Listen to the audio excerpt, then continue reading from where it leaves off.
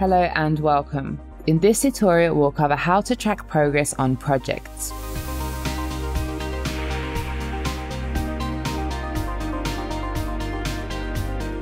Once you set up projects and your team starts tracking time, you can see how things go along by checking the status on the projects page. You can see how much time and money was tracked on each project. To get a more detailed breakdown, click on some project's status.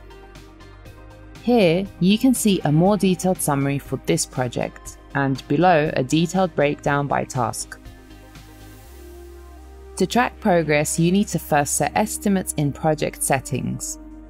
You can set estimate in time or by budget. When you select time, you can define overall time for the whole project or define estimate for each task individually. And when you select budget, you can define overall amount for the whole project or set amount for each task individually. Once you define an estimate, you can see project's progress in its status tab. Here you can see how much time and money was tracked and how much remains. If you've set estimates by task, each task will have their own progress bar too.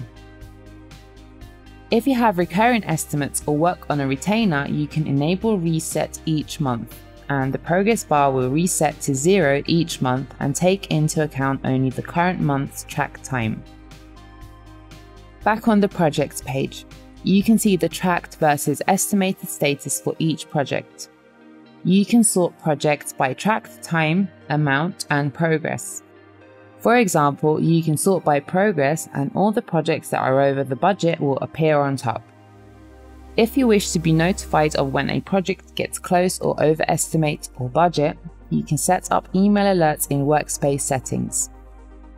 There you can set alerts, choose at what point you want to get alerts and who gets them. Then you'll get an email when some project or task goes over the estimate. Once you're done with some project, you can archive it here. Once archived, it will no longer clutter your projects page and your team won't be able to select it and track time on an inactive project. To see your archived project, change to Archived and click Filter. If you've accidentally archived a project, you can restore it here. Archiving doesn't impact tracked time. The time for archived projects will still appear in reports and you can filter by them by selecting archived in the filter dropdown. You can also delete archived projects. This won't delete time entries on them, but it will leave them without a project. You can also archive clients and tags you no longer need. And complete tasks so they don't get in the way.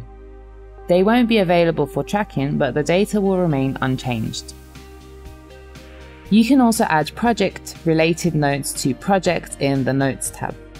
You can add simple text and even apply some formatting using Markdown.